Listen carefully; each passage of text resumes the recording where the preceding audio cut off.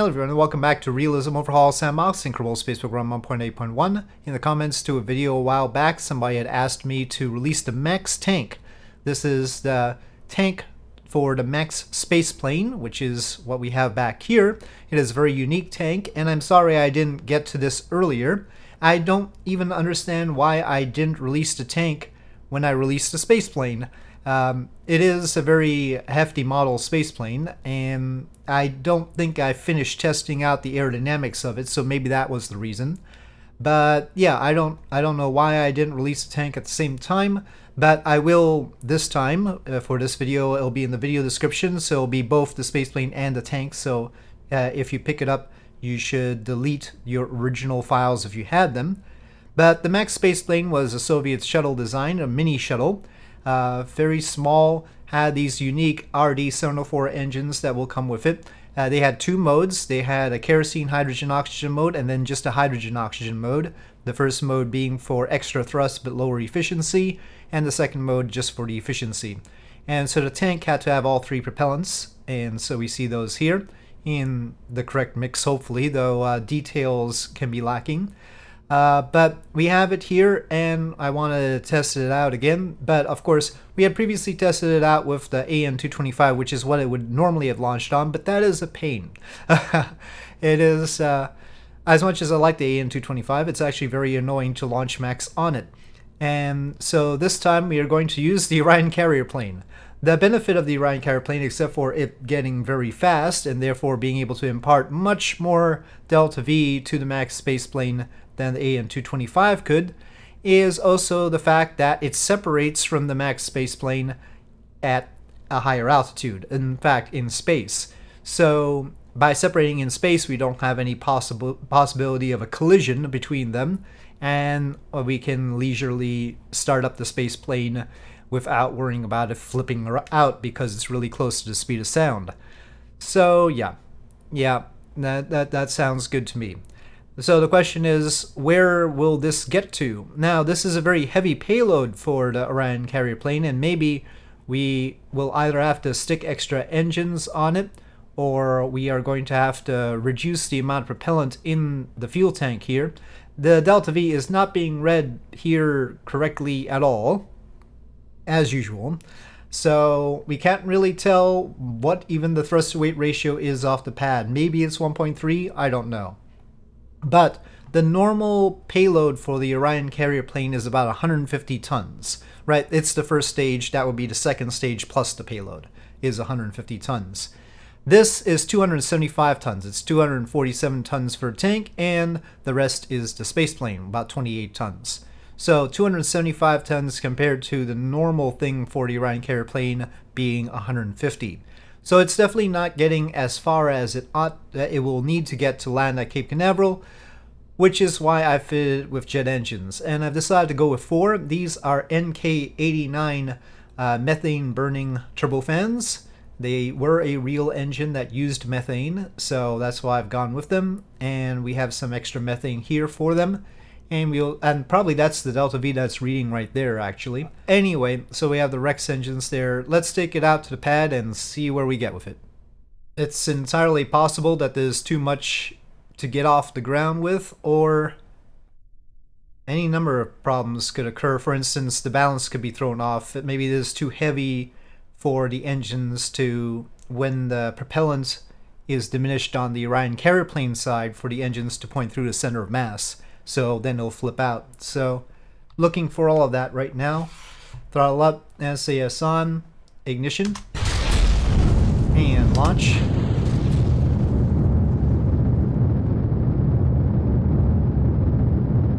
Well, we do have sort of a sidestep going on here, don't we?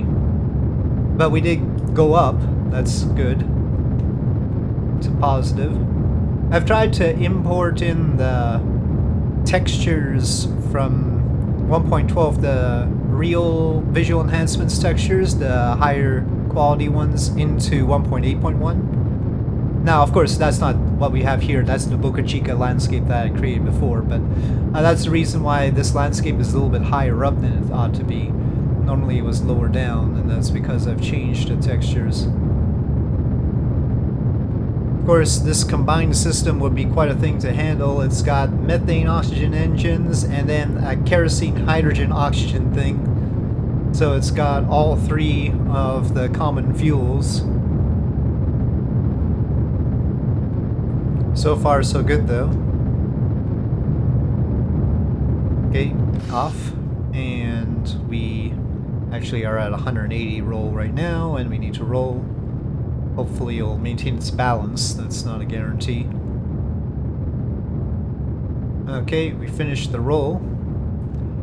Now, my normal sort of sense of when to switch off is not going to work, so I'm going to keep an eye on the fuel there. Okay, and we'll take it there. So about 3,300 meters per second in orbital velocity. And separation. Okay. Alright. Well, I don't know what that sound was. Okay, kill rotation. Um, let me get the RCS on. And, well, let's see, ignition. Oh, shoot, that was not what I wanted to do. I thought we were going to stage the engines and fire them, but no, we did something completely different. We staged off the tank. Okay, let's try that again. And some other staging keeps happening when I don't activate any staging, so I don't understand that at all. Okay, SAS on, throttle up, ignition, and launch. And yep, sort of a power slide thing going. Okay, and that'll do for now. Alright, separation. Okay, uh, and again, what's with the... I did not stage anything just there. I'm gonna activate engine, activate engine, RCS, kill rotation, and point prograde, hopefully.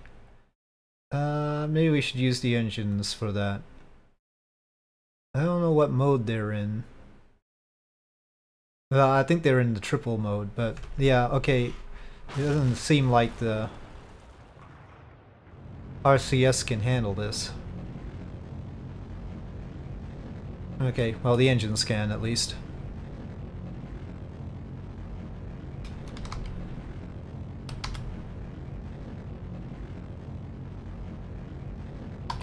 Turn off the RCS. They do have throttling, I think. Or, well, some form of throttling, yeah. Oh, there's only one ignition, though. Hmm. That's, that's a bit of a trouble. The fact that there's only one ignition on these means that we can't use it for a translunar injection or something like that. That would be inconvenient. I do want to, and we need to pitch up much more. This is our high thrust mode after all. We need some time with the low thrust mode. And again, I hear an ignition that I don't know what's going on. Maybe this is why I didn't, I don't know. Something, something's weird going on. Something weird is going on, so be apprised of that if you use this. Some of the kerosene is used for the RCS system though. I hope Oh, it's already used that. Shoot.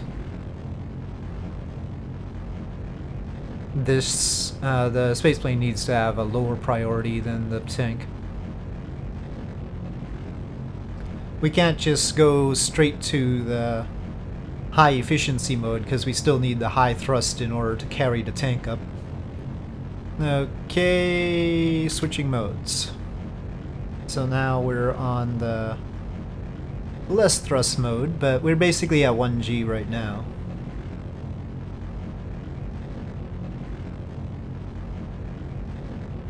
So my main question is, when we get through this, will we have enough to transfer to the moon? Could this do a lunar flyby mission? If launched by the Orion carrier plane. That's what we're looking for here.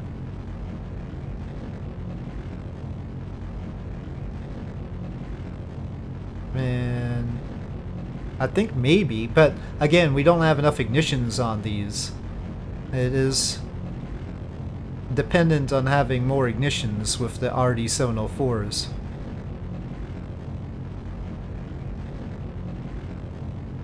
But then, then again, presumably they were reusable engines. On the other hand, they're probably reusable with some maintenance involved. So this much works, but um, coming back into the atmosphere, I have no idea. And um, possibly not. I don't even know if the control surfaces work right now. Seems very well balanced. The pitch is right in the middle there. The spaceplane itself only has a little bit of fuel, so it's probably only for a lunar flyby. No, no real orbit could probably be done. But it would be interesting. It's got nothing in the bay though. Okay, well that's orbit here. 3,500 meters per second remaining, so that can transfer to the moon. Again, given some more ignition. Um, and then the RCS would be able to bring it back, though whether it could survive a return from the moon is a whole other story. Um, but yeah, right now it's without payload, but if, even if we put payload in the bay, considering we've got 400 meters per second more than we need to transfer to the moon, it shouldn't be too bad. And maybe the payload is some fuel, who knows. So it could like swing by the moon and plop off a satellite and the satellite could get into orbit around the moon or something like that. That's a possibility. But now that uh, we've seen how much delta V it has in orbit given a launch with the Orion carrier plane, I am going to see whether the Orion carrier plane is recoverable with the extra jet engines that we've put. So we got to 3,300 meters per second orbital velocity, and we'll stop in the same place with the Orion carrier plane, but this time follow the Orion carrier plane back down. Okay, Oh, one more time. SAS on, throttle is up, ignition, and launch. Okay. And shutting down there now. Please tell me we have oxygen. Yes, we do. Okay. Separation. Alright, now now we should be okay, right? Well, always tries to pitch down here, but I should have action grouped the jet engines, though.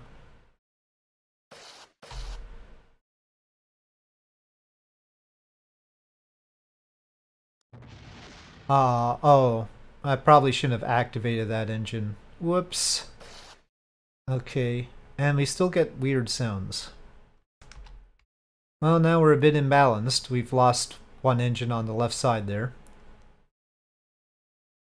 Now, the vertical stabilizers should handle the fact that we are missing an engine in terms of when we light the engines also the other control surfaces. But yeah, whether it's going to work out well before the vertical stabilizers are effective, that I don't know.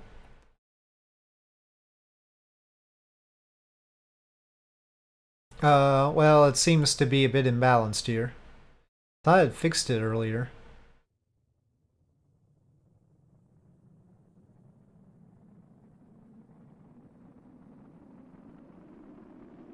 Apparently not.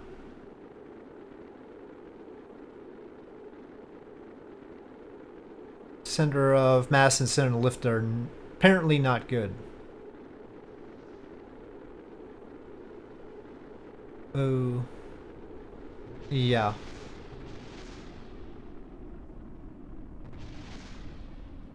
Well, there goes all the jet engines. uh... Anyway, for now, I'll leave the Orion carrier plane fixes for later. Uh, for now, the MAKS space plane is working fine, and I'll link it in the video description with the tank this time. Uh, I mean, it's working fine except for reentry. We don't have any idea whether it's going to work right in reentry. That's a separate issue. But yeah, uh, cargo bay is there. That's fine. And we had briefly seen the RCS puffing earlier. So with that, thank you for watching. I hope you enjoyed this video. If you did, please do press like. If you have any comments or suggestions, please leave them in the comment section below. And I'll see you next time.